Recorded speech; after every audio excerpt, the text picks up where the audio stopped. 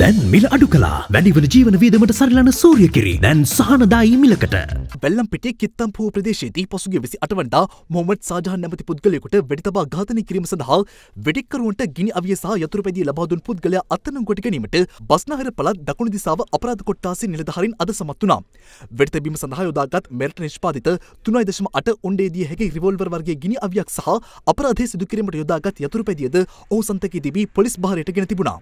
තමන් බ්ලූමන්ඩල් රවී නැමති සංවිධානත්මක අපරාධකරුගේ උපදෙස් මත ඝාතනය සිදු කිරීම සඳහා යතුරු පැදිය සහ රිවෝල්වරේ ලබාදුන් බවත් වෙඩිතැබීමෙන් අනතුරුව ඒවා නැවත රැගෙන ගිය බවත් ප්‍රශ්න කිරීම් හමුවේ සැකකරු පවසා තිබෙනවා.